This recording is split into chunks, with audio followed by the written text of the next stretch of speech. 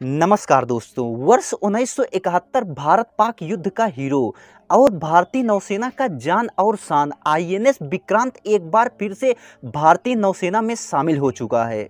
जैसा कि 2 सितंबर को प्रधानमंत्री नरेंद्र मोदी ने केरल के कोच्चि से आईएनएस विक्रांत को देश को समर्पित किया।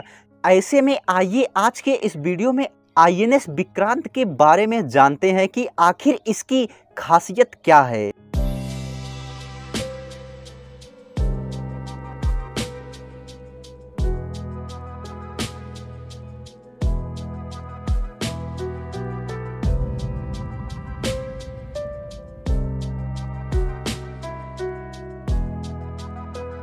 जैसा कि पहले इसका नाम विक्रांत था, लेकिन जब भारतीय नौसेना में इसे शामिल किया गया, तब इसका नाम आईएनएस विक्रांत हो गया। जैसा कि आईएनएस का फुल फॉर्म होता है इंडियन नेवी शिप, यानी कि यह अब भारतीय नौसेना का जहाज़ हो चुका है। जैसा कि पैंतालीस हज़ार टन वज़न वाले इस युद्धपोत को बीस हज़ार करोड़ रुपए खर्च करके बनाया गया है। जैसा कि इसका डेक, यानी कि जहाज़ के ऊपर का अस्थाई आवरण, जो कि दो फुटबॉल मैदान के बराबर का है। जैसा कि इस पर एक साथ तीस फाइटर प्लेन और हेलीकॉप्टर तैनात किए जा सकते हैं। जैसा कि इस नए आईएनएस विक्रांत की सबसे खास बात यह है कि इसे आत्मनिर्भर भारत के तहत बनाया गया है, जिसमें कुल छिहत्तर प्रतिशत सामान भारत का लगा हुआ है और इसमें कुल 500 भारतीय कंपनियों ने काम किया है। जैसा कि आईएनएस विक्रांत को बनाने को लेकर के सरकार कहती है कि इसे कुल तेरह सालों में इसे बनाने में करीब कुल पंद्रह हज़ार नौकरियाँ आई। कि आईएनएस विक्रांत के अंदर कुल 2300 कंपार्टमेंट हैं। जैसा कि आईएनएस विक्रांत की लंबाई कुल दो सौ बासठ मीटर है, वही इसकी चौड़ाई भी बासठ मीटर है और ऊंचाई 60 मीटर है। और यह करीब और इसमें एक साथ कुल 1700 नौ सैनिकों के रुकने की व्यवस्था है। और साथ ही साथ इस युद्धपोत की यह भी खासियत है कि इसमें महिलाओं के लिए अलग केबिन बनाया गया है और साथ ही साथ इसमें आईसीयू से लेकर के सभी प्रकार की सुविधाएँ भी मौजूद हैं। और आईएनएस विक्रांत की सबसे बड़ी ताकत समुद्र में जाने के बाद दिखेगा। जैसा कि बताया जा रहा है कि इसकी रफ्तार करीब 28 नॉटिकल्स की है, यानी कि करीब इक्यावन किलोमीटर प्रति घंटे की है। वही सामान्य गति की बात की जाए तो इसकी सामान्य गति 18 नॉटिकल्स, यानी कि 33 किलोमीटर प्रति घंटे की रफ्तार से है।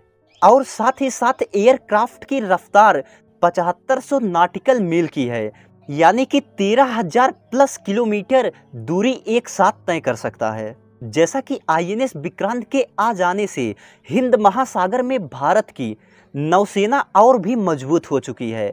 जैसा कि आईएनएस विक्रांत आ जाने से भारत के पास कुल दो युद्धपोत हो चुके हैं। जैसा कि इसमें पहला नाम आता है आईएनएस विक्रमादित्य की और दूसरा आईएनएस विक्रांत है। जैसा कि आईएनएस विक्रांत को कोच्चि शिपयार्ड लिमिटेड द्वारा बनाया गया है, भारत के पहले एयरक्राफ्ट का नाम भी आईएनएस विक्रांत ही था, जिसे ब्रिटेन की रॉयल नेवी से लिया गया था। लेकिन वर्ष उन्नीस सौ सत्तानवे में आईएनएस विक्रांत डिक मिशन कर दिया गया, यानी कि इसको उसके पद से हटा दिया गया था।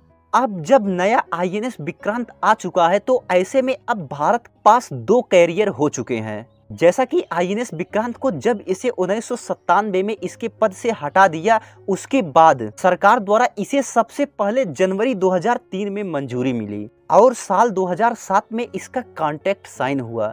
और तब जाकर के 2009 में इसके बनने की प्रक्रिया प्रारंभ हुई। अब करीब तेरह सालों बाद यह बनकर के तैयार हो चुका है। जैसा कि कहा जा रहा है कि इसकी सबसे बड़ी चुनौती है इसका परीक्षण।